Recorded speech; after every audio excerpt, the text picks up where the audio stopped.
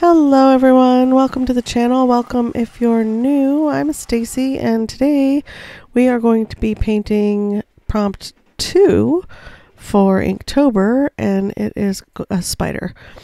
Uh, I went literal and I the well it's spiders with an S, but one is enough. I mean, really, one's always more than enough.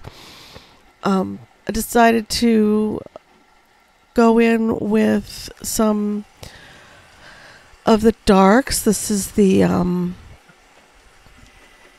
uh whoopsie. Winter night mixed with a little bit of the oh, oh um orca and a touch of blue in the background and then I decided to go ahead and dry it because I didn't want my spider um colors to bleed into the background. Uh, always dry between your layers. It helps with control. And I'm going in with the pumpkin spice, which has become one of my absolute favorite paints in this set. It has a little, it has mica in it, so it's iridescent. And uh, uh, it just I just really love that color so much. I think I've tried to use it in every painting I've done so far with these paints. I'm gonna have to see if I can get it in um in a tube because I already have quite the divot in the top of it. I'm just blocking in all of the spiders um parts with the base color with that um, pumpkin spice base color, skipping over where I know I'm going to put a darker color um, here pretty shortly. Just painting in all the legs. He is, you know how spiders dangle from that one thread? They're coming and they slowly lower themselves. That's what what he's doing. He's lowering himself from probably the ceiling or a light fixture or something. You know, just to the right angle where you walk right into him. I actually walked into a spider web two days ago um, I was going to my car, and my daughter and I parked next to each other, and the spider managed to to put his web between our cars. So I walked right into it. so it's like the last place you expect to have a spider web is between two cars. Um, I'm getting in. I'm using the. Uh, I don't remember what color I'm using right here. Oh, I'm using Wet Bear because it's um or Wet Grizzly is the name of it. Uh, it's dark enough, but it also has mica in it to um. I thought at the time to give me the the dark dark that I wanted, uh, but it dries quite a bit lighter. Uh, it does layer up nicely though. I just did a, a painting where I, I had to layer it up, and it, it layers really nicely, and you can get a nice deep dark brown that's still slightly um, iridescent. And get his little legs in, make him all happy. And I love painting and drawing bugs, so this was super fun for me.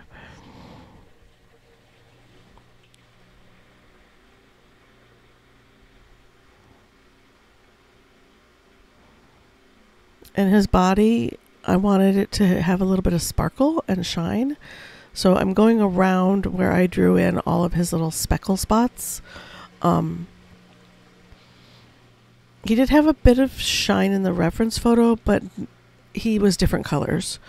Um, I, I used that uh, pumpkin spice color instead of um, like a brown because he's a brown spider. Because I wanted him to shine. Artist prerogative. You don't have to paint things the, the true color that they are. You can do whatever you want.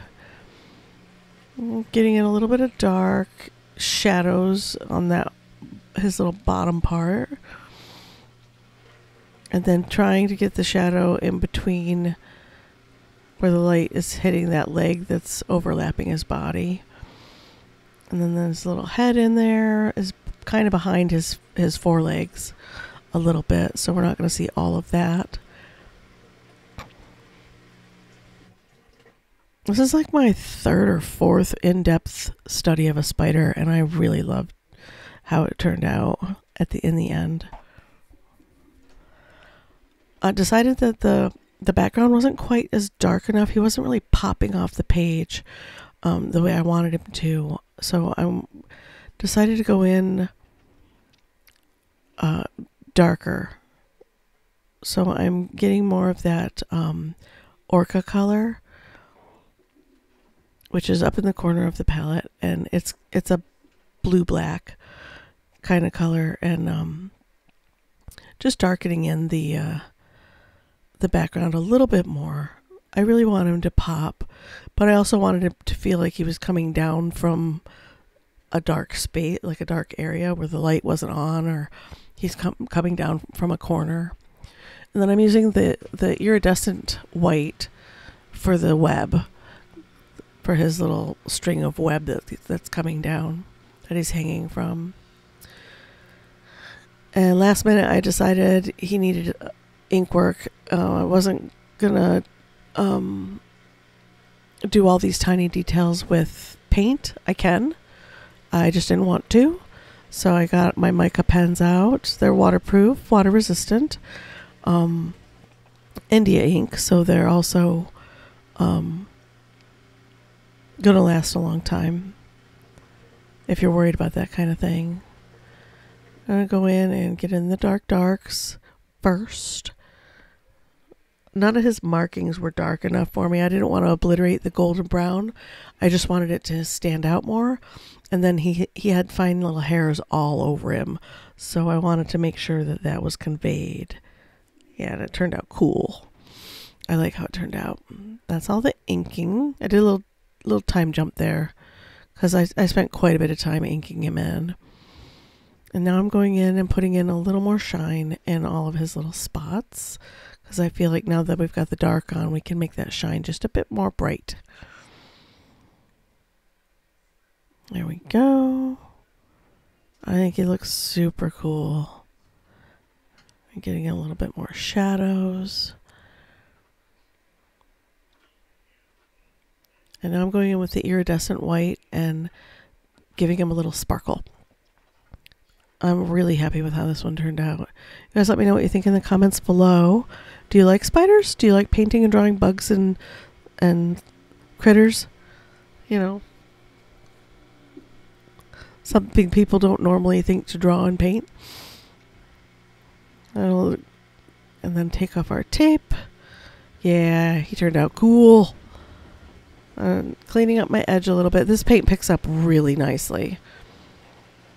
Let me know what you think in the comments below, you guys. Thank you so much for being here, and I will see you in the next one. Bye.